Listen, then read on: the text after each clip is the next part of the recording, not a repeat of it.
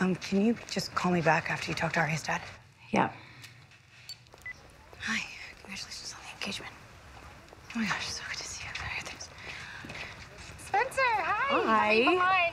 Hi. oh, sorry, we're a family of huggers, and Toby's told me so much about you. Yeah, you're an impressive woman yourself. Top of your class, double major at Smith. Wow. So they gave you a packet on me, too. Yeah, sorry, I had to read that. Oh, me too.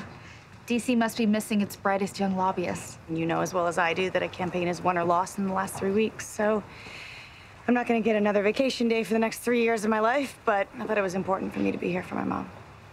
Yeah, I've heard you're not a fan of Rosewood. I, uh, I told Yvonne that I was Green Acres and you were Park Avenue. Green Acres?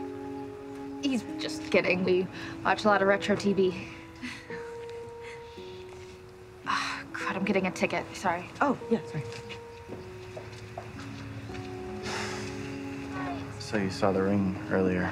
Yeah, I mean, I wasn't trying to be a crazy ex-girlfriend stalker. I just, I was there. It's a small town. We're gonna run into each other. So you didn't propose? Officer Toby, can you help me out with this?